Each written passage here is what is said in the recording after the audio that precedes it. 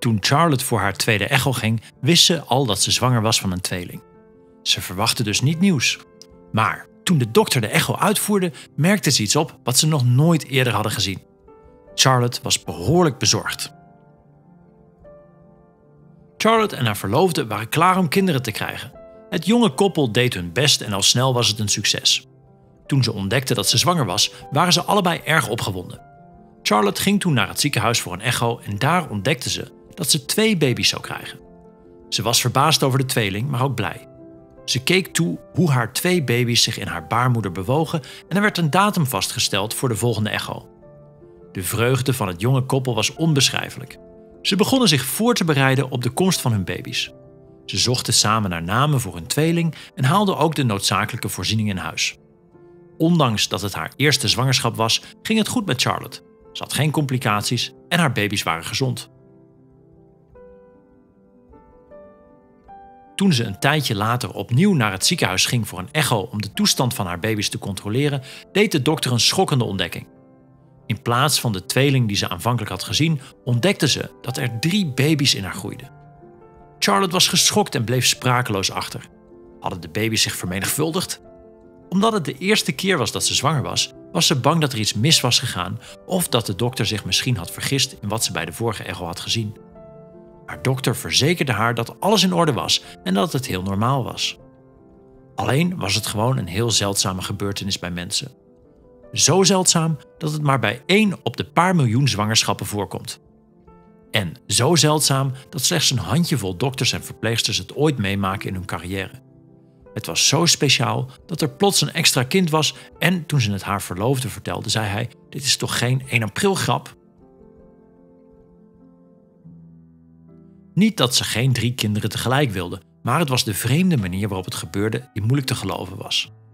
Deze zeldzame medische aandoening komt vrij veel voor bij dieren zoals vissen, maar is zeer zeldzaam bij mensen. Normaal gesproken stoppen de eierstokken van een vrouw met het afgeven van eitjes, waardoor het onmogelijk wordt om opnieuw zwanger te worden. Maar nu was dat niet gebeurd. De baby's konden niet precies als een drieling worden beschouwd, omdat ze niet tegelijkertijd bevrucht werden. De dokter van Charlotte verklaarde uiteindelijk dat de reden dat ze op haar echo een derde kind zag, is dat ze na tien dagen weer zwanger werd. De dokter legde verder uit dat wat zich had voorgedaan een voorbeeld is van superfeutatie. Superfeutatie is wanneer een tweede, nieuwe zwangerschap optreedt tijdens een eerste zwangerschap. Dit soort voorvallen wordt veroorzaakt doordat een andere eicel bevrucht werd door een zaadcel en deze enkele dagen of weken na de eerste zwangerschap in de baarmoeder werd geïmplanteerd. Wetende dat wat haar was overkomen zeer zeldzaam was, ging Charlotte op TikTok om haar ervaring te delen. En ze legde ook haar situatie in detail uit. Als je overleert, is dat gedurende 24 uur en sperma kan 3 tot 5 dagen in je lichaam blijven. Onze eerste twee baby's zijn 10 en 11 dagen ouder dan onze derde baby. Dus zo wisten we meteen dat het een tweede zwangerschap was, zei ze. In reactie op haar bericht werden verschillende opmerkingen gemaakt.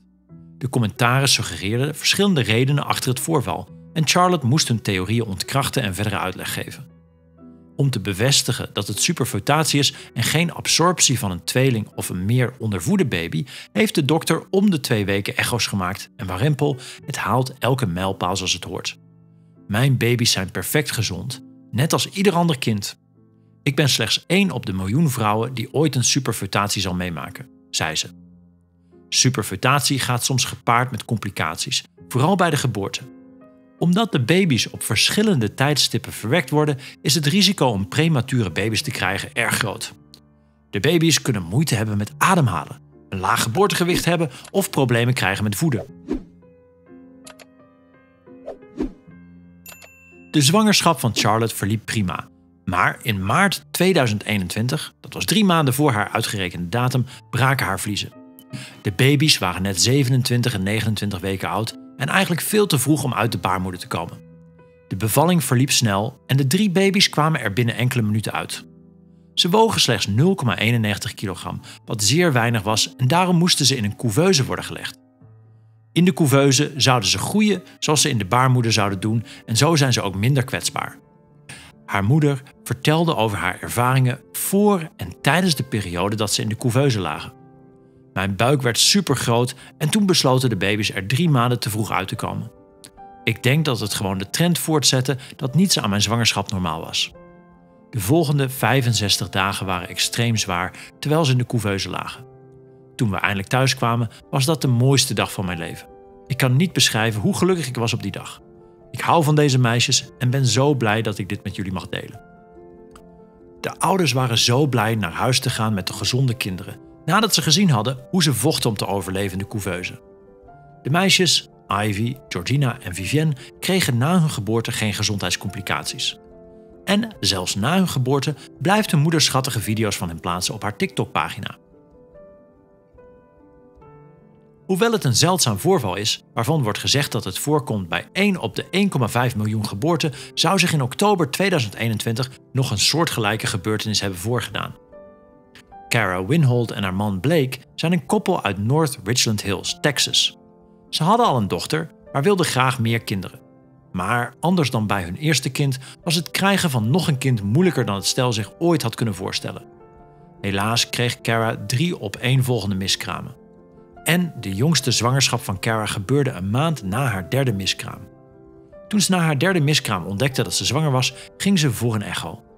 Eerst werd er geen hartslag waargenomen en het leek erop dat de baby het niet had overleefd. Maar plots werd er een hartslag waargenomen en kreeg ze te horen dat ze een jongetje zou krijgen. Ze ging heel tevreden naar huis. Vanwege haar ervaringen raadde haar dokter haar aan om elke twee weken naar het ziekenhuis te komen voor een echo. Twee weken later kreeg ze dus een enorme verrassing. Er werden twee hartslagen geconstateerd in plaats van één. Ze zou twee baby's krijgen. Cara kon niet anders dan verrast zijn, net als Charlotte in het vorige verhaal. Ze kon ook niet begrijpen hoe één baby er twee werden. Ik werd zwanger terwijl ik al zwanger was, zei ik tegen de dokter. Wat is er gebeurd? Hij was er de eerste keer niet. Wat is er aan de hand? De dokter verminderde haar angst door uit te leggen dat het was gebeurd als gevolg van superfotatie omdat superfotatie meestal voorkomt bij mensen die bevruchtingsbehandelingen zoals IVF ondergaan, maakte Cara bekend dat die van haar natuurlijk was. Ik kan geen andere verklaring bedenken voor het krijgen van een tweeling. Het was 100% natuurlijk en ze komen niet voor in mijn familie. Het was een totale verrassing. Tijdens de echo, waarin ze zag dat er nu twee baby's in haar groeiden, kon ze het verschil duidelijk zien. De eerste baby zat in een zak en was goed ontwikkeld, terwijl de nieuw verwekte baby in een kleinere zak aan de zijkant zat en niet zo ontwikkeld was als de eerste. Cara beviel van haar baby's op 25 oktober 2021, toen ze 35 weken oud waren. Erg dicht bij haar uitgerekende datum. Alleen kwamen ze eruit met een enorm verschil in gewicht. De jongens Colson en Caden zijn een week na elkaar verwekt. De eerste baby die ter wereld kwam, Colson, woog 2,7 kilogram, terwijl de tweede baby, Caden, 1,8 kilogram woog. Ze waren allebei gezond maar het verschil in hun gewicht en lengte was duidelijk. Zelfs na zes maanden woog de eerste baby zo'n 2 kilogram meer dan de tweede baby. Beide waren wel volkomen gezond. Maar hun verschillen waren te wijten aan superfotatie. Als ze ouder worden, kan het zijn dat de kleinere baby toch meer zal wegen of groter zal worden dan zijn tweelingbroer, omdat superfotatie geen invloed heeft op hun groei buiten de baarmoeder. De verhalen van Charlotte en Cara zijn het bewijs dat inderdaad alles mogelijk is tijdens de zwangerschap. Iedere vrouw maakt iets unieks mee tijdens de zwangerschap en dat is absoluut prachtig. Dus laat mij weten of dit de eerste keer is dat je gehoord hebt over superfutatie. Deel je gedachten met me in de comments. Tot de volgende keer.